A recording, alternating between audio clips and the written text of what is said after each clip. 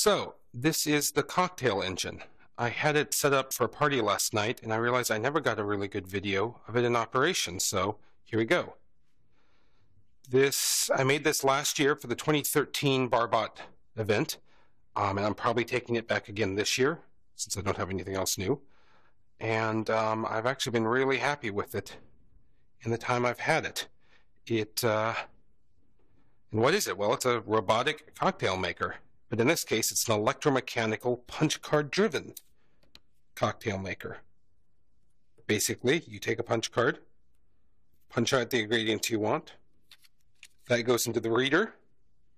Pull the lever down. That makes electrical connections going through the ribbon cable and goes up to one of 16 different um, valve assemblies. Now each valve assembly has a valve on one side and the servo on the other connected by chain drive. Now that electrical connection I was talking about, there's a series of boards, on one for each channel, and it's just a 555 timer circuit. It's quite simple. Um, it uses this custom board that I had made and sells a kit actually.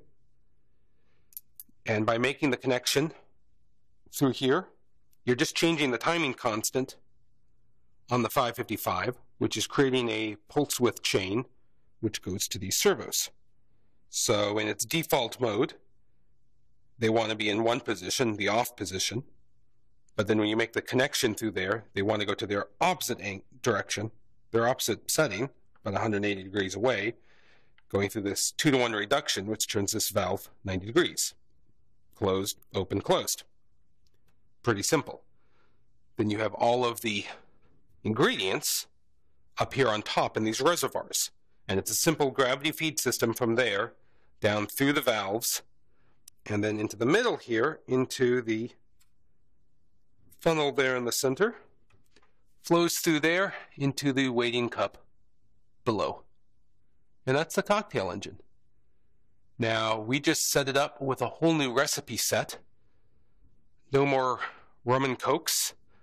Um, gets a bit getting a bit fancier here, and the results are pretty good. So I thought I would show it off by testing it to its limit by making a brandy Sazerac.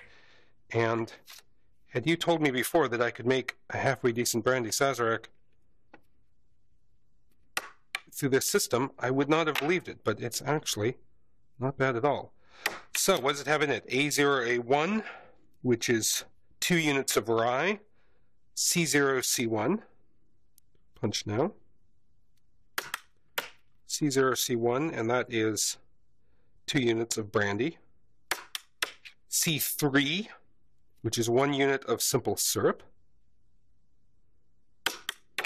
And then D3, which is absinthe. Now, it's not actually one unit of simple syrup because we've installed these, those valves in line and they're just used for throttling the flow because that's lemon juice and absinthe, and those are other overpowering components. You don't want one unit of those in, in the same way. So those are throttled down, so it's much less than the others and works out pretty well. So anyway, there is our completed card. Let's see if I hold up to the light, maybe you can see. Nah, it's just washing out. Anyway, some of the holes are punched, some aren't. Put that into the reader. Uh, power's on on the power supply. We will activate main power on this knife switch. And now the servos are active and they're all staying in their home position, the off position. I will pull this and we'll watch a drink flow. Just like that. Show it from up here.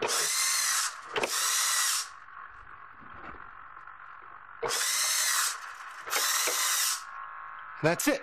And that is a very, that's actually a whole lot of Brandy Sazerac. Um, these are not light drinks, but uh, here we go. And honestly, that's uh, I've had far worse in bars. I'm pretty shocked. So, hopefully, you can come see it at this year's Barbot, or if not, um, well, I don't know. You'd have to come to one of my parties, and that's probably not happening. So there it is, the cocktail engine.